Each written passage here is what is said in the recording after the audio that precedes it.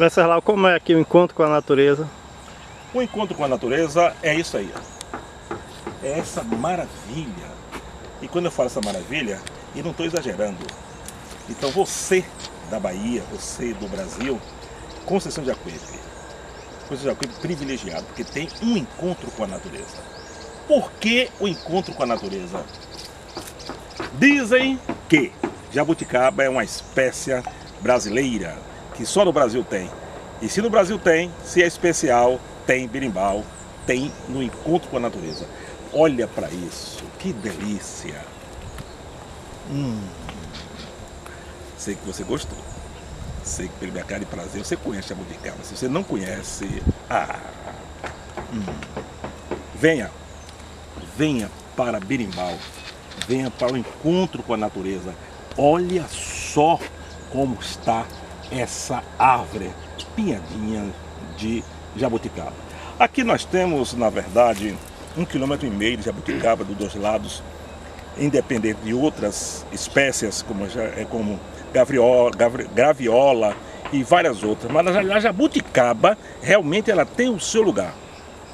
Incrível é que a jabuticaba, daqui no encontro com a natureza, certamente em outros lugares também são assim, ou talvez seja, é que o ano todo ela frutifica. Então você chega aqui, não há criança, não há ninguém que consiga vencê-la, porque que delícia. Mas o encontro com a natureza também é isso aqui, ó. É essa maravilha.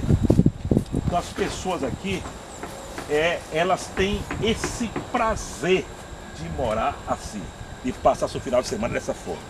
A Terra Real, ela tem uma preocupação especial, que é justamente conciliar é, a qualidade de vida com, a, com o ambiente ao qual ela vive, seja como investimento, seja como lazer, ou seja como moradia.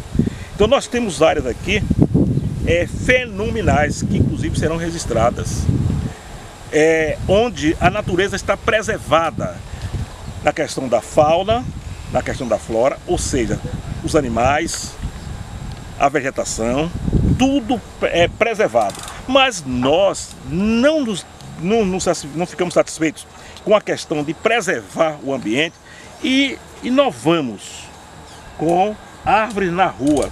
Então as crianças, elas, elas se deliciam com as árvores aqui, com os frutos. Então isso é terreal, é berimbau, é Venceslau.